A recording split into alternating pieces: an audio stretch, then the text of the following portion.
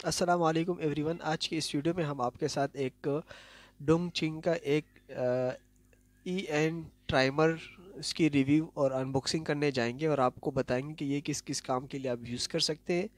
ये एक कारपेंटर के लिए, एक एक वुडवर्क क्राफ्ट क्राफ्टमैन के लिए बहुत ही ज़्यादा ज़रूरी औज़ार है। और इसके ज़रिए से आप अपने काम में फिनिशिंग ला सकते हैं और आपके काम बड़ी आसानी से इस पर हो जाते हैं। इसकी बहुत सारी वीडियोस ट्यूटोरियल आप देखेंगे, आपके यूट्यूब पर बहुत सारी पड़ी होंगी। अभी हम आपको सिर्फ़ इसका बता देते हैं कि ये कितने मिनट्स ये चल सकता है पर हॉर्स और ये कितने वाट का है। तो ये सब आपको देख, यहाँ पर देखेंगे तो ये सबसे पहले हम आपको बता दें कि ये मेड इन चाइना का है। और आपको ये बताता चलूँ कि सबसे बड़े बड़े से बड़े ब्रांड भी आजकल अपना सब कुछ चाइना में ही बनवाते हैं। तो यहाँ पर ये देखें, ये six point three three five M का है।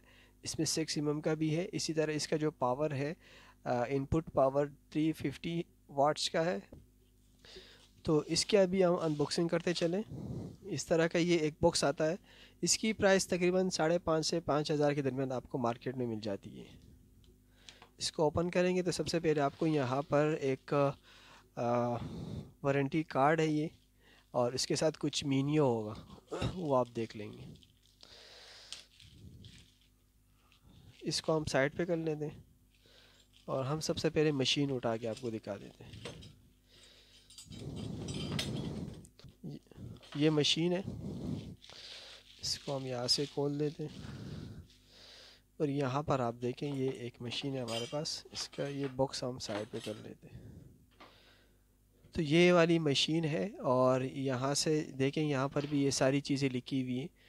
तो आप देख सकते हैं कि यहाँ पर आ, सब कुछ लिखा हुआ है। वही मीडियन चाइना यहाँ पर भी आपको नज़र आएगा। ये इसका बार कोड है ये इसका जो कंपनी का लोगो है वो ये रहा डोंगचिंग और ये इसका मॉडल नंबर ये इसका ऑन ऑफ़ का बटन है। यहाँ से ऑन होता है और इस तरफ़ ऑफ़ होता है। ऑफ़ ऑन और यहाँ ये वाली जगह, इसकी कार्बन की, अगर इसकी कार्बन ख़त्म हो जाती है तो इसके साथ एक्स्ट्रा दो कार्बन दिए होते हैं। तो आप यहाँ पर इसकी कार्बन लगा सकते हैं। इसको आप पेचकस से खोलेंगे तो कार्बन आ जाएगा। तब बिट यहाँ पर लगा सकते हैं।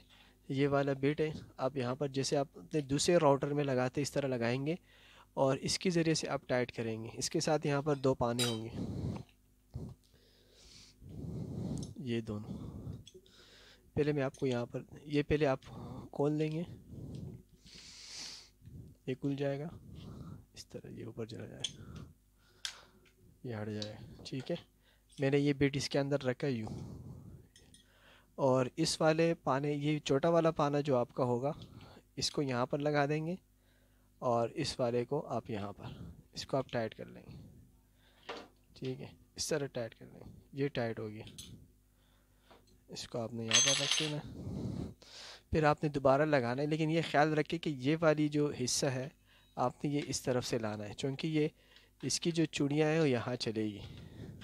ये ये देखें, ये इसके ज़रिए आप अच्छा इसकी एडजस्टमेंट आप यहाँ से कर सकते हैं। ये देखें, मैं कितना नीचे लाना चाह रहा हूँ, अपना अपना जो बिट है वो मैंने कितना दिखाना है तो वो मैं आपको यहाँ से दिखा सकता हूँ। ठीक है? ये मैंने फुल नीचे कर दिया चूँकि अभी हम इसकी सफ़ाई लगाने के लिए बिट लगा रहे हैं। अगर आपने कोई डिज़ाइन का बिट लगाना होगा तो आप उस हिसाब से जितना डिज़ाइन आपने बना रहे उस हिसाब से एडजस्ट कर लें और फिर उस हिसाब से इसको टाइट कर लेना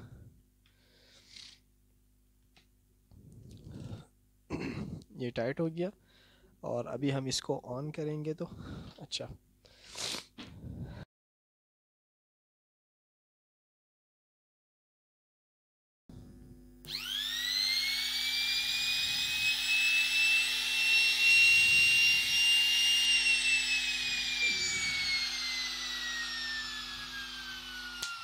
और इसके ज़रिए आप, जैसे आपकी जो फ़ार्मिंग का आप लगाते हैं, किसी पर प्रेस करते हैं, उसकी कटिंग कैसी होती है, या अगर आप वीनियर लगाते हैं किसी भी शीट के ऊपर तो उस वीनियर की आपने कटिंग और सफ़ाई कैसे लगानी है?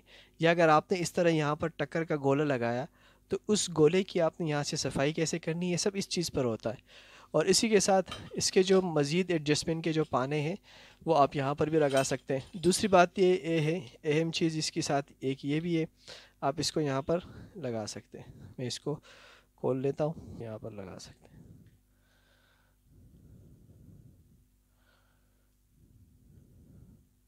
ये, इसकी मदद से आप राउंड कटिंग भी कर सकते हैं, इसकी मदद से आप इसका गेज बना सकते हैं कि ये पट्टी आपको इस तरह रोकेगी। तो ये आपका इस तरह चलेगा, ये। ठीक है? इस तरह बन जाता है ये।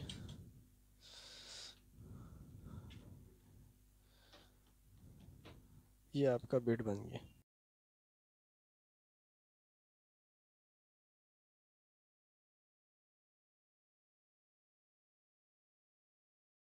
अभी आप देख सकते हैं कि यहाँ पर हम एक, कोला हमने लगाया था टक्कर पे। उसकी एजेस बाहर आए थे तो उसकी हम यहाँ से सफ़ाई लगा रहे हैं। तो बड़ी अच्छी फिनिशिंग के साथ इसकी सफ़ाई लग रही है और बहुत बेहतरीन जब हम इस पर अगर रंदा मारते तो बड़ा टाइम हमारा ख़राब होता और इस तरह फिनिशिंग नहीं आती। इस तरह अब यहाँ पर इस पल्ले में देख सकते हैं कि इसका एक साइड थोड़ा सा बड़ा है और उसकी जो जो गुनिया है वो भी सही नहीं है।